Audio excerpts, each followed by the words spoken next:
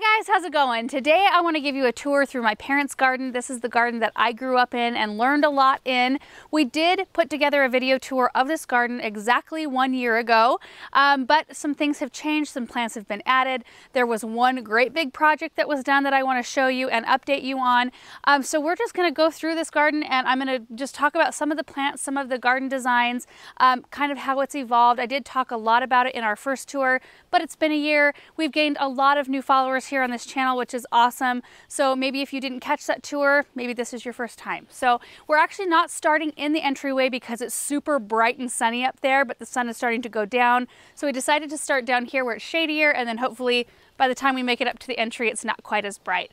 Um, this is one of my favorite, well, I don't know how to say one of my favorite spots. They're all my favorite spots. I love this garden. It's on a hill, so it's all terraced. There's a whole bunch of different levels with built up rock walls. So it gives you this really cozy feel because it's very, um, it's easy to create rooms in this garden, um, to create kind of different feels within each level of it, uh, which I really, really love. Our garden is a flat pancake. So to get that cozy feel, it takes a lot more work and a lot more time because you have to rely on maturity of plants a lot more. Um, so this space right here has winter gem boxwoods as a hedge, and this is a beautiful, beautiful hedge. If I could dig this up and take it home, I would, if they wouldn't miss it, but I think they would. Um, right inside here, we've got um, birch trees, a trio of them with a, a Celtic knot right here. And then inside, there are some, uh, let's see, Let's Dance hydrangeas. There's some more boxwoods, just a baby hedge starting at the moment. And then there's Alchemilla mollis or lady's mantle in kind of a hedge form here, kind of creating your barrier to um, designate your walkway around the center, uh, which lady's mantle is one of my favorite perennials. Um, it's such a beautiful foliage accent and they do bloom. You can see right here that they do have some really dainty, like kind of light yellow blooms on them. Um, and these are just going out of bloom. So most of the bloom stalks have been, been cut back. In each one of the corners, there are white impatiens and blue lobelia. This is just a really great area to pop annuals in because you can change the look of this garden in terms of color every single year if you leave those spaces open for annuals. And then in the corners, on the obelisk, there is Sweet Autumn Clematis, uh, which is gorgeous. About mid to late summer, it starts to bloom and then blooms all the way through autumn. Um, and so if we keep going down this way, we go down into the lower yard. On our way, you can see some of the rock walls kind of poking out here. A lot of them are covered with stuff. So there's ivy, which is evergreen. So we've got a beautiful, just dark green, glossy wall to set off all of the plants.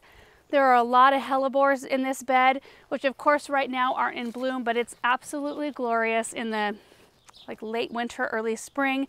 You can see remnants of some of the blooms sitting here and they uh, self-seed over here wonderfully. Like you can even see little baby hellebores in here coming up. So that's really fun to see those start to naturalize. There are also some heucheras in here, beautiful dark purple foliage. And there's a lot of Brunnera. So you can see this as another shade loving, really bold texture for a shady spot. I think I just said shade loving.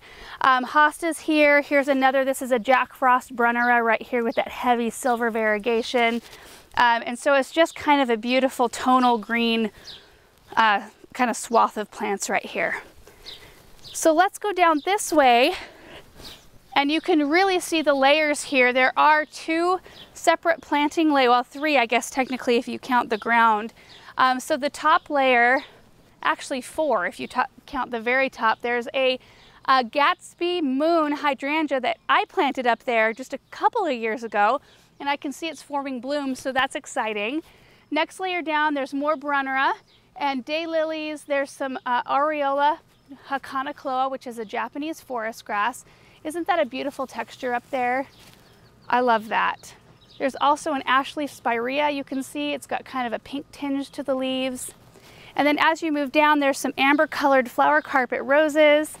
Um, and those, there's a ton of buds, but there's also a lot of beautiful color. And it looks like uh, they popped a few annuals in here. There's some coleus and potato vine, which as the season progresses will get a lot bigger, will provide a really nice kind of darker, oops, I'm starting to knock down the wall will create a nice darker kind of foliage accent.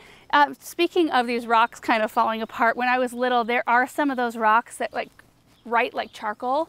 And I remember peeling off pieces of these and going over to the concrete sidewalks that we used to have and just writing a bunch of stuff. So I'm probably partly responsible for the missing piece right here. Down below, there are some dogwoods down here that get beautiful red. I think they're a Baton Rouge um, dogwood. Beautiful red stems in the winter time. More hellebores. These are Ivory Prince right here. You can see how thick they get with bloom right there. Just gorgeous. And as we move this way, we've got a Japanese umbrella pine, which I just planted one in my garden this year, but it's only about this tall, so I can't wait until it gets a little bit taller. They have a really soft um, kind of texture. They're not pokey in the slightest, um, just a very kind of unusual look to them. Then there's some beautiful delphiniums. I do not know what variety these are, blue delphiniums, but I love these huge stalks. Coleus down below that looks like a trusty rusty, perhaps, not positive. And then a yellow flower carpet rose. The drip system is on. I can, see, I can hear the water dripping from those those uh, baskets up top there. This right here is a David phlox, so this will get the big white blooms on it here fairly soon, um, and they last for quite a long time.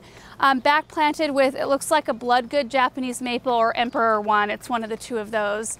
Um, there are lemony lace, just one lemony lace elderberry right here for some great texture. I mean, when you look at all these beds, just look at the different layers and the different textures. Even if there, it seems like there's a lot of green, um, it's all a little bit different and it really looks like you can see each individual plant because the texture is so different. There are ferns back in there, um, a new boxwood hedge that was planted not long ago with the uh, cone boxwoods on the end. This brick patio, my parents laid oh, I don't even know how many years ago. I mean, it's been here as long as I can remember. They did nothing special to the ground. They just kind of raked it out, removed the sod, removed the sod, then raked it out, and then just slapped the bricks down. And it still looks pretty good. You can see it's like a little bit wavy in spots, but I think it gives it some charm and character. Uh, on the other side, there's a hedge of um, oak leaf hydrangeas. They're a munchkin variety, so they stay a little bit shorter, kind of a dwarf type. And then we've got the heucherellas, which Aaron and I came out here and planted not long ago. Those have some beautiful color that look great with the pink impatiens that are right up front. And then there are Patriot hostas sitting back behind the dove fountain right there, which provide in a shadier spot. They provide such a nice bright pop because of that heavy white variegation. And then there's this right here is a Twombly's Red Sentinel Maple. Now this one here is not a Twombly's. Nope, there used to be a Twombly's right here. It got really, really winter damaged during our really bad winter two years ago.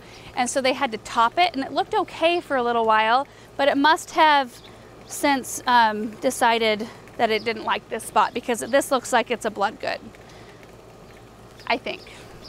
And I kind of want to turn this way and go through this bed. I don't want to miss this side. Um, this right here is a type of ranuncula and it's one of the ones I want to get a start of. There are a few plants here that I would love to get starts of that I can't find for sale, usually at garden centers. So I'll probably come steal some of this at some point. It kind of naturalizes and spreads, but it gets that sweet little yellow flower on it just early summer usually. Looks like there is um, some yellow evergreen texture. There's a weeping birch, which if you can look in here, this is really cool.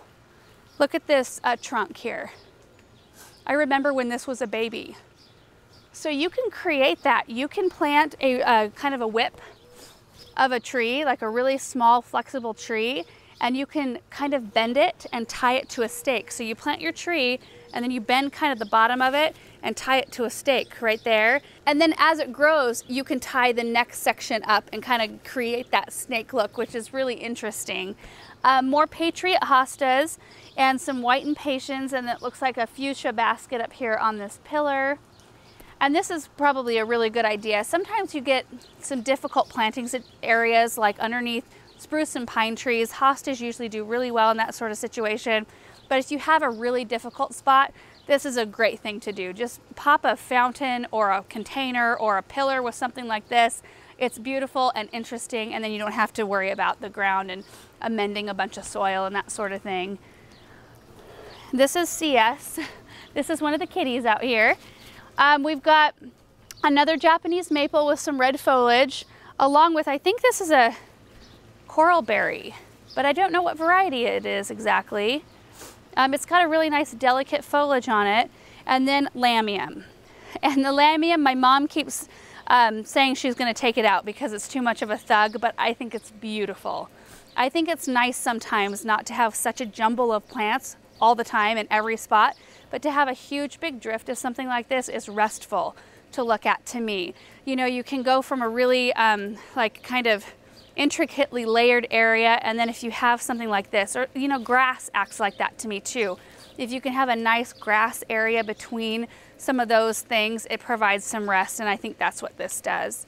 Another Japanese maple right there. I think this is a katsura if I I think that's right I have one of these at home and it looks very similar um, there are some Poet's Wife roses right here. Oh, that's a lilac that I skipped right there. Another variety of lamium with a white bloom.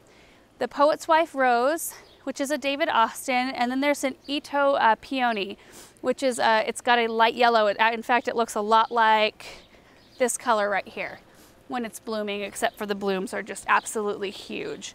Um, so that's been done for a little while. We've got variegated goldenrod, and then a beautiful succulent planter which never gets any water. That thing has to just survive on its own and it's done great. I think my mom planted that two years ago now and it's just done great. There are, now I don't know, my mom could tell me the name of this rose. She tells me every single year. It's this old romantic like um, heritage rose that you deadhead and it like it blooms continually throughout the season and it's just beautiful. It looks kind of like a Morden blush to me. Maybe that's, what I have Morden blush though. Mine don't look like this quite. So I'm not sure. Uh, more lobelia down below, daylilies. There's some um, rocket, orange rocket barberries back in there. Uh, more annuals. It's just so fun to see this every year, to see what different things that they choose. And I do the same thing in our garden. I choose different annuals to go in different, different spots. So there's some coral geraniums and blue lobelia. So now I'm gonna take off down this way um, and then I'll stop where we kind of started down there. I absolutely love this view. I love to see the lines of the grass and I like that you can see the fountain in the distance running. It like beckons you, it calls you to come down, which I think is really important. There's not a huge amount of busyness in terms of hardscape down here and I think that's important not to do too many things. Um, it would be easy to do a lot of big beautiful concrete pieces because they're gorgeous, um, but I think it can be overdone. Um, so I think this is just really really pretty. It's got the right balance. So let's move down here and I'll pick up kind of where I started in this bed. So I do want to talk about these trees because I love them. There is a paper bark maple right here. Look at how interesting the trunk is. Talk about winter interest. I absolutely just, I love it. I have to keep myself from peeling it because that's like half of the interest right there. Um, but it's just the color, the texture there. And the leaves are pretty, but I love it for the dark, you know, the dark trunk with that interest. Right across the way, there's a per Persian Parrotia, which these grow incredibly slow. This tree's been here forever, but the fall color, the show you get in, from this tree is incredible. It's like this kind of electric display of fall colors and you get multiple from the same tree, like multiple colors. So this is one that I need to figure out where to add one in in my garden. And that's what's so fun about this garden. It's so mature and there's so many things that are gorgeous that you can look at something and kind of see what it might look like in your garden. Like, oh, that's what the Persian Parrotia looks like after 20 years. So I can kind of plan for that. Um, and this spot is really, really fun because the layering, oh, I haven't even seen this. See, now I haven't been here in a couple of weeks. So seeing some of these little addition, there's a, a coleus basket hanging on a uh, beautiful. This looks like an antique holder. That's really cute. But I really like the layering in this area because of the iris in the back. You can see that just strong vertical structure back there. Um, and I think that's a Katsura tree that's coming up from kind of from the middle of that drift. Then you come down to an ivory halo dogwood. This is a tree peony that gets the big purple blooms on it. And then there's some hardy geranium down here. There's mums that come up in the fall with their blooms, like right in here, some mums. And then some nice big tall roses in the back, which I don't know what variety those are, I'm sorry, but you can see some purple campanulas popping out like just here and there, and I really like that. So right in front of me here, so across the kind of walkway from that flower bed is another tiered rock wall. The top level has a boxwood hedge, which is enclosing a beautiful little garden up there, which we'll look at in a minute.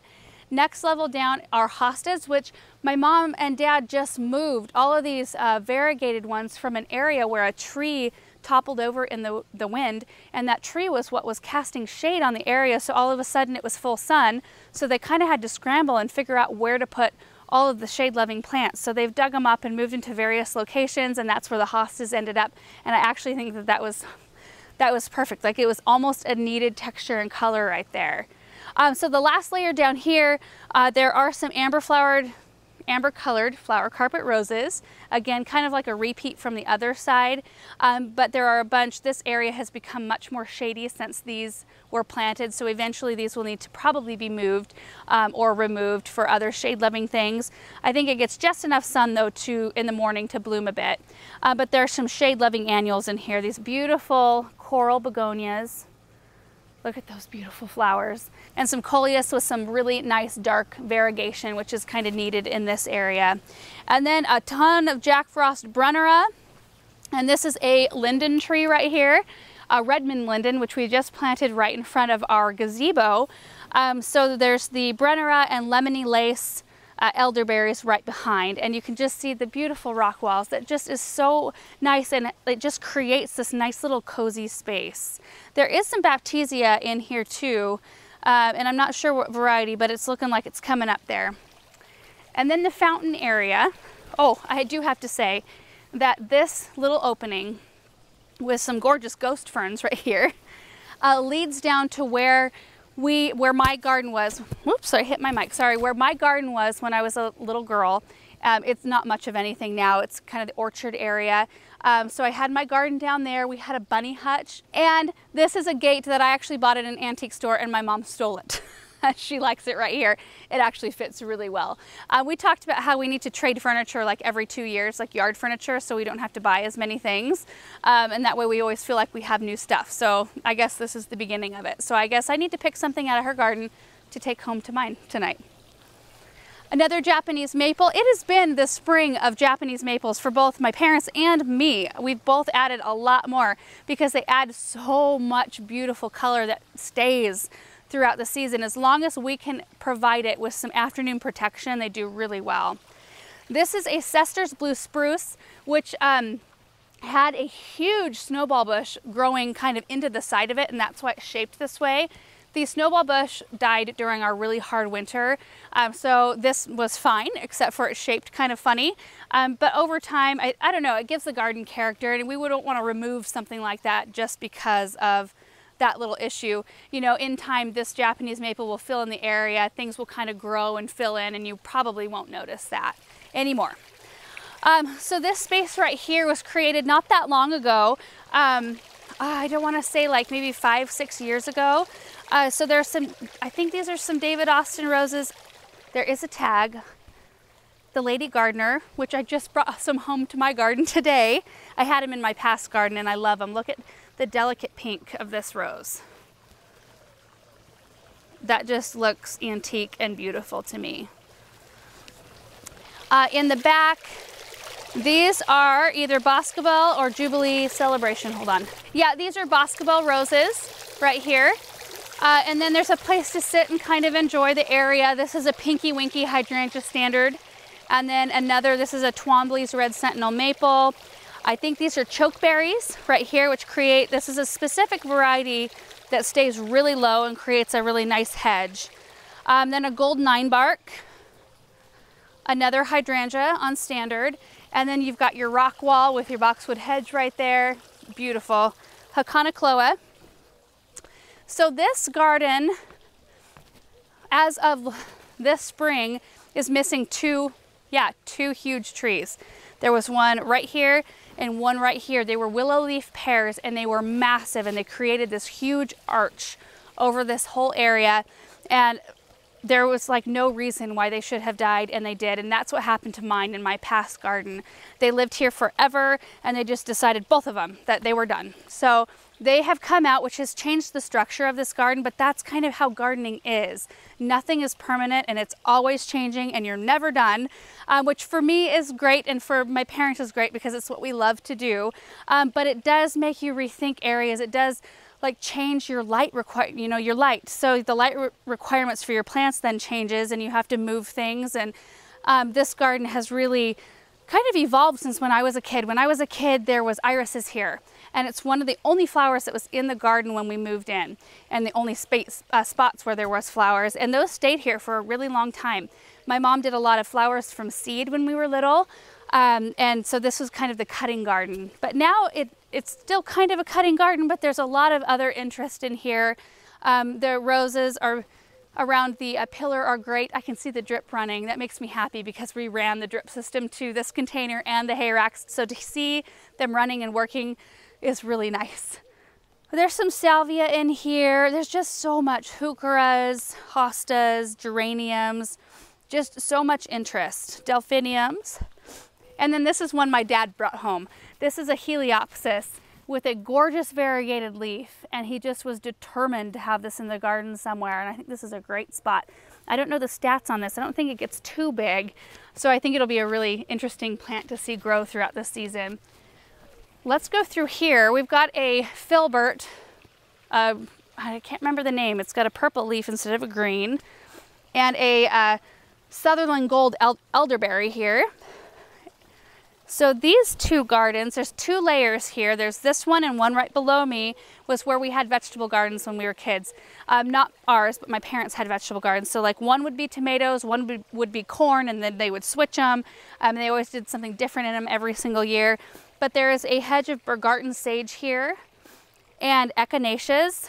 I think these are big sky sundown and they're just starting to put on their blooms right now.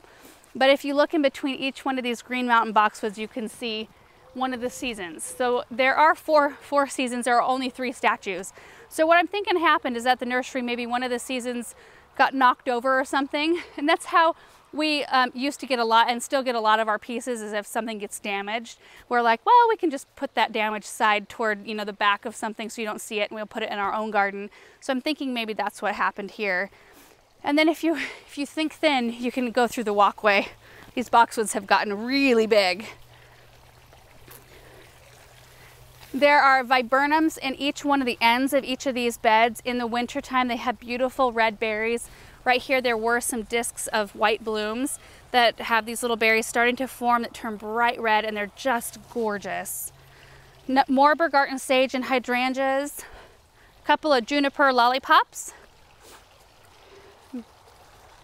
climbing rose.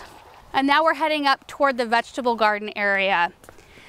So there are grapevines right here which kind of create your enclosure um, for really both areas. They used to come all the way over to here. There was a post right here with a another grape.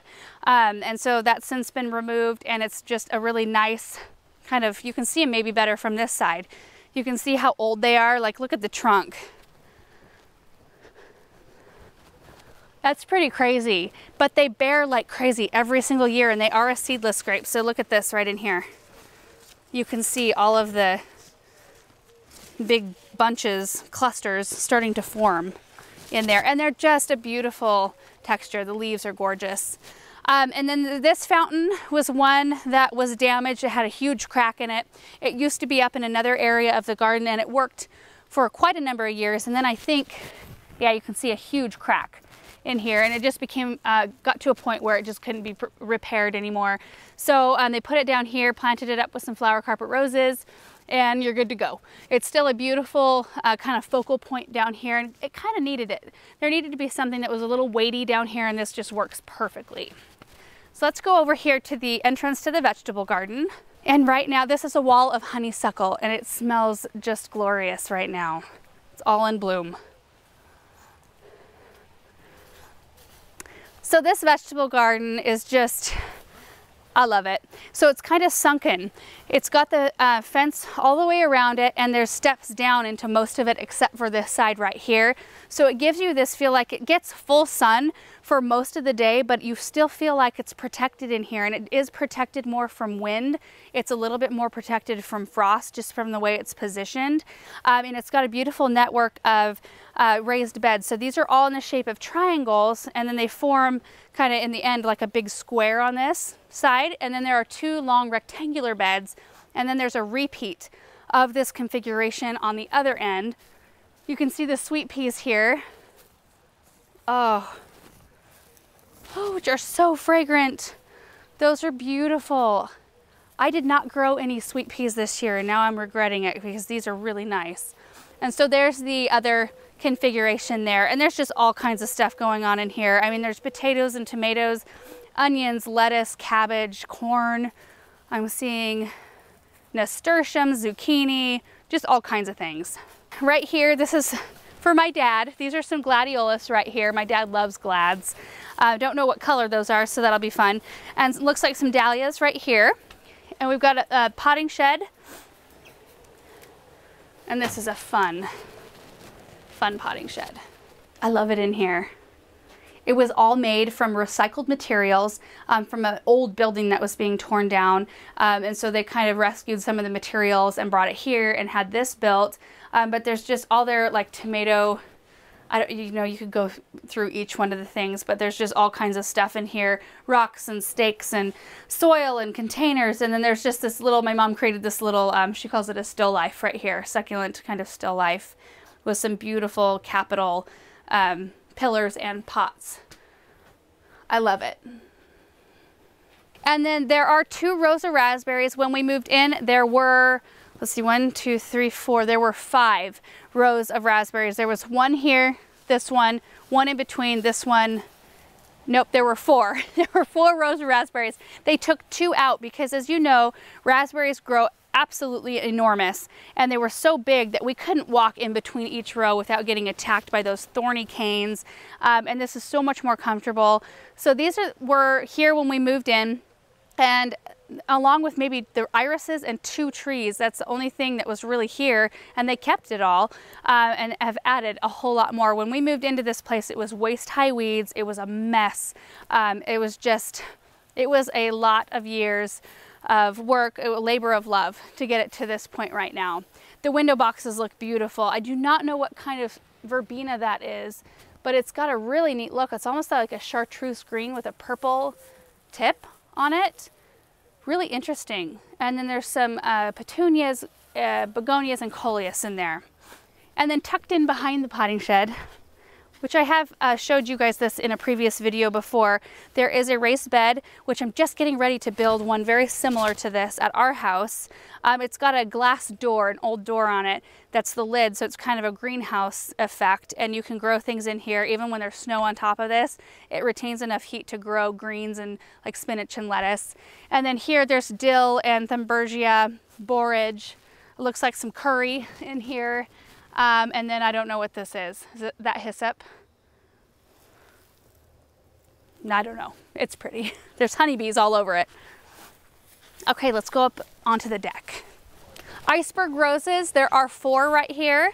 There's one planted to the right and then one on either side of the arbor, which my dad built from uh, wood we got up in the hills. And then there's one more right down there and I think they're beautiful. They bloom for such a long time. I've got some icebergs, they're behind our fireplace, um, and they're actually climbers, I found out. That's the reason why I couldn't keep them under control, but they don't have anything to climb on like this. It would be neat to build something back there that they could ramble on and really kind of like meet their full potential. So I think instead of going up to the deck right away, we'll just start here and kind of circle our way around. So this area here has got uh, heucheras down there, some kind of um, orangey, chartreuse green ones. Um, there is some phlox there and Solomon seal. This is a really beautiful plant to put in a part shade area or a shade area that has kind of the arching, arcing kind of look to it. Um, and they just stay so nice throughout the whole season. It's just uh, one of my favorites. All of them are my favorites. Um, there's a lot of Centaurea in here or mountain bluet. I just saw bloom. If you can look right here, This right here is a Centaurea. They're really interesting. This bloom is a little bit faded, but they're an absolute garden thug. And if you do not keep them in check, they will spread everywhere. And this has been kept in fairly good check. It was let to like kind of run rampant for a while, but it fills this whole back area. So if you have an area that's just like tough to grow something in, you just want something pretty to fill it in, get Centaurea because it'll do it for you. Um, this is, I can't remember, it has a, has a stalk with orange kind of berries on it. I have a start of it in my garden. I'll think of it later. But it kind of has a tropical elephant ear look to it. Dang it. Duh. Arum? Maybe? Maybe? Uh, coral flower carpet roses here around the fountain, which this was a new fountain, I think this spring. Um, they put this one in or last year, I can't remember, but it's got a perfect sound. I love it. Oh, and I do have to um, mention the golden smoke bush back here. Isn't that a glorious looking smoke bush? especially when the sun hits it right now in the evening, it just looks like it glows. It's a perfect backdrop to that fountain. Um, back here, there's a hedge of boxwoods that actually goes all the way down, even behind the evergreens. There were nine barks here for a lot of years, but then it started to not get as much sun, so you have to adapt. Um, this is a spruce. Uh, there's a debate as to what kind of spruce this is in our household. Um, my parents say it's a Tollymore, and I don't believe it. I don't, I don't think Tollymores get this big, but I'm not sure. So it's beautiful and it looks gorgeous with Christmas lights. Uh, this is a Japanese anemone right here and they bloom white. And uh, this is another one that will try to take over. In fact, you can kind of see them out in the grass a bit and it does it at my house too. They kind of start to creep out. Um, but they're such a giving perennial and uh, in the fact that they um, add so much fall interest, like late summer fall interest to your garden um, that we kind of put up with that. Uh, some yellow yarrow and lamb's ear. And then these are Tuscan Sun roses that provide this nice bright pop. And they are right in front of a big drift of uh, David phlox. So big drift of big white blooms that'll come out here pretty soon. Um, and then there's some geranium here, hardy geraniums, more lamium, and we'll just kind of pop back into this corner real quick. This is a chocolate vine. It's a type of eupatorium and I love the texture of this one. It's got beautiful dark colored stems, like burgundy stems. And I think that's one of the things that's most striking to me about it. Um, and then there is some clematis in here, kind of like the Stand by, me, stand by Me. This is not a Stand By Me, but it's very, very close. Bushy Bell Clematis, maybe? Boy, I need to brush up on some of my names around here in this garden. Um, there's some more ladies mantle right here uh, with a Procumbens blue spruce and sweet woodruff, which is a beautiful ground cover, which is another one that will kind of just creep its way around. Um, these are the five autumn frost hostas that Aaron and I brought out here, and they are doing so great, and they're such a gorgeous, just bright spot in this flower bed. This is a white tree peony and a blue bird Rosa Sharon. So it gets nice blue flowers and it actually does really well. It doesn't get an enormous amount of sun here and you would think uh, Rosa Sharon, they need full sun to perform the best. It actually does really well. Um, there are some delphiniums in here. You can see they're about ready. Look at this. They're huge. About ready to put on its blooms. Uh, and then some iris. These are the black pearl um, heucheras that I gave, I gave my mom a flat of them last year. And they look beautiful up here with the pink impatiens. Um, the Great Expectation hosta. I actually got my parents one of these on a trip and they planted it right here, which is so fun. And we always get each other either plants or Christmas ornaments, usually on trips. Um, this is an Arnold's Promise Witch Hazel, so beautiful, bright yellow blooms. I don't want to skip the deck because there's some pretty things up here, so let's just run up here really quick. You might recognize this from a video like, I don't know, two, three years ago, where I came up and planted it up with all white flowers. I love this. It looks like, this almost looks like a mum. Um, there's some helichrysum and coleus, impatiens, creeping Charlie, and a dark colored potato vine. That's a really pleasing blend of plants to me. And down in here, it's just kind of a jumble of violas and sweet woodruff and hellebores. And I just, I like that in some areas where there's just some kind of things left to go wild a little bit. Um, I like this little kind of vignette. There's a couple of Japanese maples and creeping Charlies hostas in these two pots that all came back from last year. Like they didn't move them or anything. They stayed right here and this is how they came back this spring. which for having something in a container, especially the Japanese maple, you would kind of maybe expect a little bit of like struggle. None with those. And then this is where, oh my goodness, I haven't even noticed these. Look at these fuchsias. Oh, all white ones. I bet you my mom took all of these from the garden center before I even had a chance to see them. Those are beautiful. Um, and then we've got some uh, euphorbia up here, coleus, begonias. Really nice. But this is where my family hangs out a lot of the time, right up here. I know it's kind of sunny and shady. It's probably hard to see, but this is just a perfect sitting area in the evening because we can watch the sunset. Um, and we've spent a lot of evenings and mornings out here together. I remember growing up, like in high school, even we would all wake up earlier than we needed to go somewhere, and we all drank coffee even through high school. And we'd be out here on the deck with my parents, and we'd all just be like hanging out and chatting. And um, those are some really fun memories for me. Oh, and this is the container from Christianson's nursery that I got my mom um, at the Seattle Flower Show. And I got a matching one for myself. Right now mine has a flower arrangement in it, like fresh cut flowers, and this one she planted begonias in. So now we're going to be looking at the entry. I'll talk about these first because these are striking. These are guacamole hostas right here with Mount Bruno boxwoods, which after the first tour of the garden that we did a year ago, um, I got a lot of questions about these because this is a boxwood at full maturity. So again, they're called Mount Bruno. They grow usually about a foot and a half by a foot and a half, maybe a tiny skosh bigger. Um, so they're really easy to maintain in this kind of area, like as small spheres or as a really small hedge. This is a purple ghost Japanese maple that um, Aaron and I helped my parents plant one night really late. I think it was storm. It was either stormy or windy or something, but it was in one of those big like wood box planters and it was really tough because it's right on the edge of a rock wall like level. And I remember trying to get this one planted um, years ago uh, but it's absolutely beautiful. It's grown a ton but I like the architectural airy look of this one. And I think it was one that was kind of struggling in its nursery can so it needed to get out. And a lot of times like I have one of those in my garden right now that it just needed to come to a garden and just be planted. Um, and oftentimes they bounce really quickly and sometimes they're the best shaped ones, like they're the most interesting ones to look at.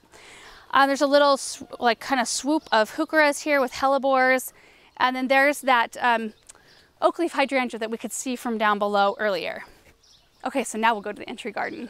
So right here, there's a Twombly's Red Sentinel Maple that just glows when the sun hits it right. And there's a um, little trellis here with a honeysuckle that smells really good. So as you're walking in, because this is the entrance right here. So as you're walking in, you get a really nice smell, like a whiff of that honeysuckle. Um, but if you stand and kind of look toward me, you can see what the entryway looks like. Let me move out of the way so you can see. You can either go right to the house or down into a garden, or you can go left out toward the swimming pool, which is the direction we'll head. There's some Big Daddy hostas, which is what we just planted at the um, Project Dove, right in front of one of their residences. This is an example of Big Daddies that are at their more mature size. So you can see how big those little tiny four inch hostas that we planted will get like this, which is really exciting. Um, so right here, a little hedge of boxwoods backed by mums, which are gorgeous in the fall, and this huge level of delphiniums, which my mom and I had several phone calls over the last couple of weeks because we've had such bad windstorms. And so we call each other and um, I'm like, what are you doing? She said, I'm out staking up my delphiniums. And I'm like, I'm doing the same thing. Um, so we just like, we're struggling with this because we love delphiniums so much um, that we are struggling to keep them to stay upright. Um, there's a container right here. This is an old iron urn on a pedestal um, which gets deep shade and hardly ever has to be watered. Um, and then there's some fragrant stock down in here, which is an annual in our area. And I do love, I almost missed it, but I do love this little drift of blue uh, petunias down there. And a rhubarb, just in case. just in case you need some rhubarb. It's got a beautiful structure and I love, in fact, I planted three of the same variety. This is a Victoria rhubarb. Look at how huge those leaves are. I planted three of these in a container this spring because I wasn't sure exactly where I wanted them to go in a flower bed. This is what it looks like when you put them in a flower bed. It's such a gorgeous, huge, bold texture. This is a great big old lilac. And oh, the tricolor beech, which you can probably see if we come out here a little bit and kind of turn back on it because the light's hitting it on this side. The tricolor beech has the beautiful pink foliage. Um, and when you find them, you'll, depending on who the grower is or what kind of soil they've been grown in, it'll come in all different kinds of colors of pink. I have a small one that I planted last year that's more along the lines of this one. It's got the lighter pink. And then I planted a big one this spring that's got deep pink. Um, so it's really interesting to see the differences you can get out of the same cultivar of tree. Um, and then right in front of me is a swimming pool lots of hours of family entertainment out here. Um, they put this in when I was a junior in high school, um, and this was pasture. In fact, right here where the telephone pole is, uh, there was a fence. The fence went all the way down here, um, and there was just like weedy pasture right here. The cows could come right up to this area. Um, so they had this spot built up and the pool put in, and then we'll walk in just a second down below so you can see the rock walls that were built to kind of make this area a little bit higher. Um, but this was something that my parents always dreamed of having out here. They wanted to have uh, one for their grandkids, which they have now.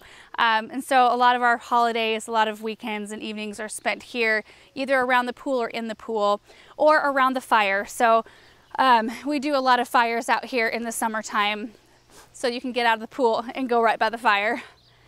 But there used to be, when the pool was very first built, there was an excellent view of the um, town because we're on a hill out here so you can see the whole valley but you kind of with a swimming pool you kind of want it to feel a little bit private so there are a row of royalty crab apples right here which um, have provided a lot of privacy. It actually helps a lot with wind too. And then also there's some Spartan junipers right at the very end of the pool, which um, the tag says that they only get five to six feet wide and 10 to 15 feet tall.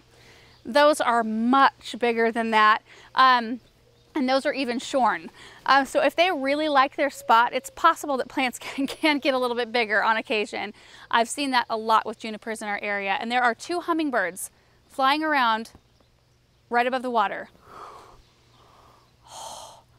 I've seen a couple hummingbirds in our garden so far this year. I hope I see more. So this area down here is a little bit more kind of untamed. Um, they bring a lot of plants home that have been damaged in shipment and just pop them down here or um, like plants they want to test out.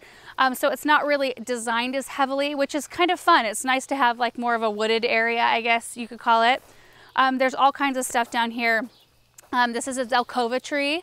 Uh, there's a pine and an elderberry right in front of me, right by the pasture gate. Uh, blue spruce here.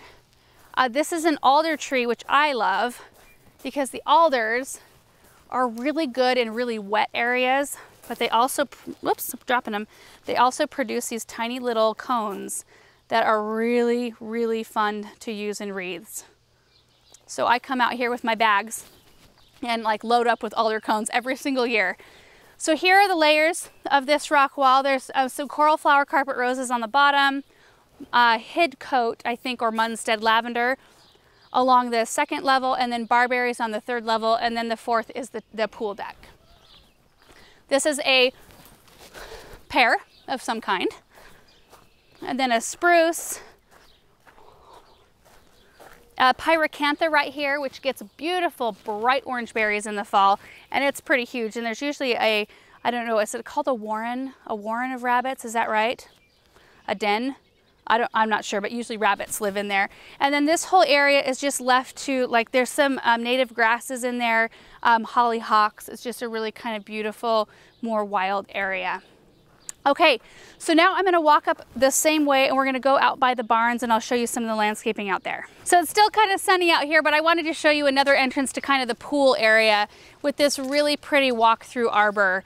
Um, there's some uh, climbing roses on it and clematis beautiful arb spirals and then the annuals down below. So there's some geraniums and then that kind of sky blue petunia. And then the barns are out this way. There's two of them. There's a barn for the sheep and a barn for the chickens.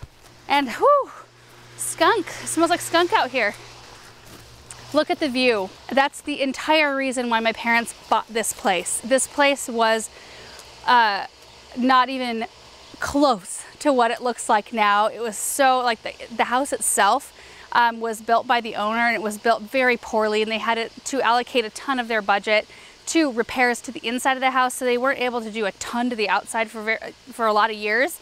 uh, and they knew that that's kind of how it was going to go. But they bought it because they saw the potential in the um, kind of terraced hillside kind of garden, but also you can't like you can't put a price on that. It's just absolutely fabulous. Um, this is Munstead lavender out here, and there are a couple maple trees. So there's one here and one on the other side, and then there are just a bunch of David Austin roses around here. So there's three here, and I can't remember the names of all of them. I think, boy, these might be Evelyn's. I don't know. These might be Ambridge Rose though too. They're not Evelyn's. Uh, maybe I'll ask my mom and we can pop them up on the screen. Um, but these have got gorgeous color and a really nice scent. Boxwood hedge. And I love the barn doors too. They're kind of like old antique doors. it's just a little bit more rustic out here. Um, this is where the chicken barn is. So more lavender. There's some, uh, those look like Lady Emma Hamilton roses right there. They've got more of the deep apricot color. Uh, more lavender and boxwood hedges and more roses. So it's just a little bit more simple in terms of plant choice, but I think it makes it really effective and you don't really need a whole lot out here when you have, you know, that to look at.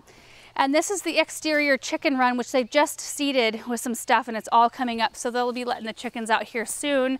Um, and I don't see any of the chickens. They must be already in the barn to roost. So now I want to go up onto the driveway and explain what project, the big project that they did this year and give you an update because we did plant some supertunias and purple fountain grass out here not that long ago. So this is the last area I wanted to show you, uh, mainly because one, I wanted to update you on a project we did about a month ago. Aaron and I came out here and planted up these 12 really large containers with purple fountain grass and then eight Supertunia Vista Snowdrift, which is a new Supertunia Vista that's coming out next year and we just wanted to try it out and see how it works in containers. I've got some in the ground at home, so we'll kind of gauge how they both do in both kind of situations. But like um, like I said, I think uh, we planted these about a month ago and they're looking really great. They've really bulked up and filled in and they're starting about starting to want to spill over the sides. I mean, I think that'll happen probably in the next week or so. Um, so I'm really thrilled with how they're doing and I just wanted to show you that. And also wanted to talk to you a little bit about this area because this spot is the one that's had the biggest transformation um, since our last tour. Now, if you saw the video with the containers, you already know all this information, but if you missed that one, I'll just explain quickly that there used to be a ditch right here where I'm standing. There was like a really rough looking landscape on the other side with just like white native dirt and some bunch grass and weeds and stuff like that, and then the ditch, and then it came up into a really narrow driveway. The driveway was about, I want to say like about right here. Um, and so that's as much driveway as you had and it was really tight um, and a little bit scary because the driveway is really steep and it would be really easy to, to get your car into the ditch. They had the water pipe, the ditch filled in, and then the whole area smoothed out, new gravel put in. They planted 14 red point maples, which is one of my favorites. We have um, not quite 14, but we've got a lot of them at our house that we planted uh, last year and then this year as well.